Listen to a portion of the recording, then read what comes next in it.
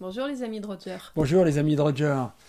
Alors voilà, euh, comme prévu il y a quelque temps, on voulait faire une vidéo sur euh, les avocats et le travail des avocats de Roger. Euh, je vais vous rappeler l'historique rapidement. Roger en 2016 n'est plus condamné à mort parce que l'État du Texas a accepté un nouveau procès. Avant le procès, l'avocat de Roger reçoit un deal du procureur lui disant Ok, on accepte de sortir du couloir de la, mort Roger, mais on le laisse en prison à vie, avec une possibilité de sortie 20 euh, ans après, donc en 2037. Ça, c'est l'historique euh, judiciaire de Roger. Donc euh, Pascal maintenant va vous parler un petit peu de ce qui se passe depuis deux ans. Oui. Oui, alors effectivement, donc Roger aujourd'hui dans un statut un peu particulier qui nous permet de réétudier en fait tout le, tout le cas de Roger d'une façon un peu différente, puisqu'il n'est plus sous le coup d'un procès qui serait en cours, comme ça a été le cas pendant très longtemps et qui le mettait un peu en danger. On a la possibilité et on, a fait appel à une nouvelle équipe d'avocats depuis mm. qu'il est sorti du couloir de la mort. Comme vous le savez, donc il y a euh, Chris Bao, Bao Talia et Lei, quatre avocats qui se sont occupés de lui. Il y en a un des quatre qui est parti aujourd'hui. Euh, c'est une équipe de jeunes avocats mm. qui sont vraiment euh, très impliqués dans le cas de Roger et euh, qui nous donnent vraiment satisfaction aujourd'hui. Voilà, ça fait deux ans qu'il travaille vraiment d'arrache-pied sur son cas et il travaille sur, je dirais, quatre, avec quatre objectifs principaux qui sont le premier, sa recherche d'innocence. Bien sûr. à laquelle, bien entendu, Roger n'a toujours pas renoncé et ne renoncera jamais. Euh, voilà. La seconde, c'est la réduction de sa peine euh, par plusieurs moyens dont on va vous reparler brièvement. Et puis les deux suivants sont euh, la défense des droits de Roger euh, en prison euh, en tant que prisonnier, puisque parfois il fait appel à certaines difficultés qui nécessitent de faire appel à des avocats. Et puis la dernière, enfin, c'est le son, soutien moral, c'est ça, c'est-à-dire que Roger a besoin d'avoir régulièrement et plus particulièrement en ce moment les avocats au téléphone ou en visite.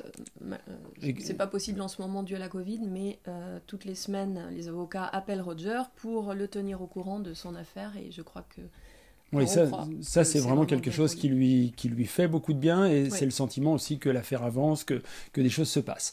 Voilà, donc évidemment, euh, cette année a été particulièrement difficile pour, euh, pour euh, tout le monde et également pour les avocats et leur travail, puisque la plupart des administrations aux États-Unis sont fermées. Il y a par ailleurs, euh, des difficultés à voyager, des difficultés à rencontrer les témoins, à faire parler les gens euh, dans un contexte qui est sanitaire qui est très compliqué.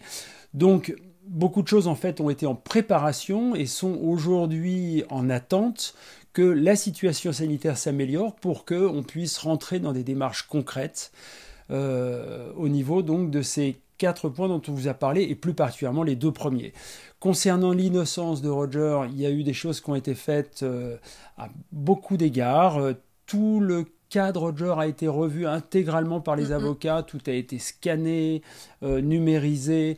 les avocats ont revu le procès dans son intégralité, tous les témoignages qui ont été faits, l'enquête de police. bon, bref, ça a été un énorme travail. Aujourd'hui, je pense qu'on peut dire que ce, ce travail est terminé. Oui, ils ont une très bonne idée de la situation. Voilà. Euh, et, et, je pense que ça, ça, ça permet effectivement maintenant d'avoir des pistes assez concrètes sur ce qu'il est possible ou pas de faire pour arriver à, à nous l'espérons, prouver l'innocence de Roger. On ne peut pas vous en parler plus en détail, naturellement, tout ça c'est top secret et, et, ça, serait, euh, ça serait vraiment euh, préjudiciable à Roger de, de, de vous donner plus d'informations. Ensuite, concernant euh, sa libération euh, anticipée, c'est-à-dire éviter d'attendre 2037, qui sera le moment où il aura la possibilité d'une libération sur parole, où il passera devant un board des juristes en fait qui, euh, qui, travaillent à ce genre de libération. en 2037, il aurait éventuellement cette possibilité. Pour qu'elle fonctionne, il va falloir, et c'est aussi leur travail aujourd'hui, prouver que Roger a été un bon détenu, s'est bien comporté. Et là, euh, naturellement, Roger est un détenu exemplaire. Il fait un tel travail magnifique en prison que ça sera euh, sans doute une facilité pour le faire sortir. Néanmoins, il faut le prouver, donc il faut, il faut avoir de l'information. Il faut aussi revenir sur tout le passé de Roger, son passé familial, euh, mhm. sur sa famille, ses amis. La façon dont il aidait toute sa famille, hein, parce que c'était un petit peu le chef de famille, ses frères et sœurs, comptait vraiment sur lui. C'était un des plus jeunes, mais c'était néanmoins celui qui aidait le plus de monde. Voilà, donc ça, ce sont des, choses qui sont une collecte d'informations, de témoignages qui permettront effectivement de pouvoir plaider en sa faveur pour une sortie en 2037. Ou voire anticiper. Alors, parallèlement à ça, le, le, et je dirais que c'est une grosse partie de leur travail aujourd'hui, vu qu'ils sont un petit peu arrêtés dans d'autres domaines, c'est d'arriver à trouver des solutions pour anticiper en fait cette liberté sur parole, soit rendre caduque le deal qui a été passé il y a trois ans en disant que pour différentes raisons euh, il n'était pas juste. La seconde, c'est d'arriver à prouver que lorsque Roger a été condamné il y a maintenant 35 ans, euh, la législation à l'époque pour les condamner à la prison à vie le faisait qu'il n'était jamais euh, enfermé plus de 30 ans.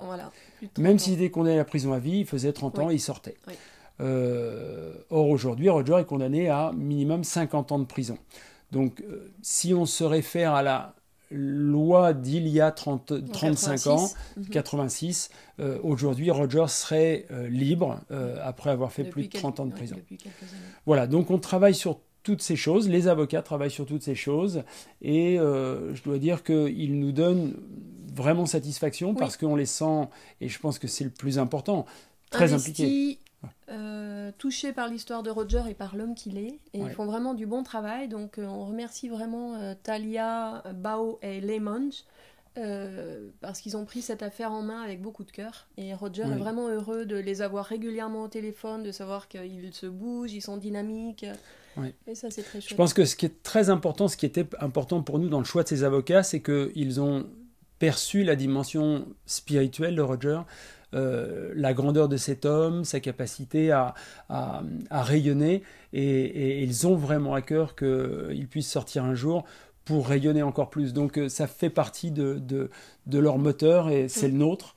On le partage et donc c'est magnifique. Et vous aussi. Bien sûr, Roger a encore besoin de votre soutien moral, financier. Euh, n'hésitez pas à en parler autour de vous. Et euh, de sa part, nous vous remercions chaleureusement. Alors merci à tous et à très bientôt. À bientôt.